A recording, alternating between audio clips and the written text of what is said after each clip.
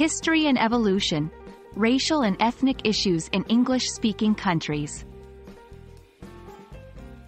Hello, dear learners. Today, we'll dive deep into an important and sensitive topic. We'll be discussing the history of racial and ethnic issues in English-speaking countries. Understanding these issues helps us gain insights into the cultural fabric of these nations.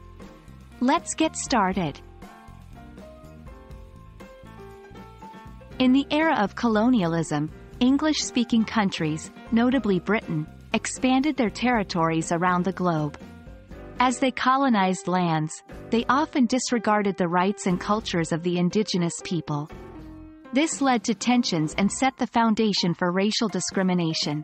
Slavery, particularly in the Americas, further heightened racial disparities. The USA, with its diverse population, has a significant history of racial tensions. The civil rights movement of the 1950s and 60s, led by figures like Martin Luther King Jr., sought to end racial segregation and discrimination against African Americans. It marked a turning point, leading to important legislation that sought to ensure equality. Australia's indigenous people, the Aboriginals, have faced a history of oppression, land dispossession, and cultural disregard. Only in the latter part of the 20th century did the Australian government begin to recognise the rights and significance of Aboriginal culture, but there's still a long way to go. The UK, a melting pot of cultures due to its colonial past, has seen its share of racial and ethnic issues.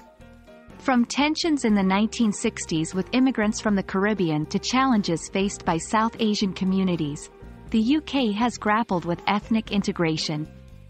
Recent times have seen better integration, but issues persist. Even today, many English-speaking countries grapple with racial and ethnic issues. Whether it's the Black Lives Matter movement in the USA or issues faced by the Maori in New Zealand, there's always a need for understanding and dialogue. Education and awareness are key components in addressing these challenges. Understanding the history of racial and ethnic issues in English-speaking countries helps us appreciate the struggles and the progress made over the years. It also emphasizes the need for continued dialogue, respect, and unity. We hope this video sheds light on these important aspects and encourages you to explore and understand more.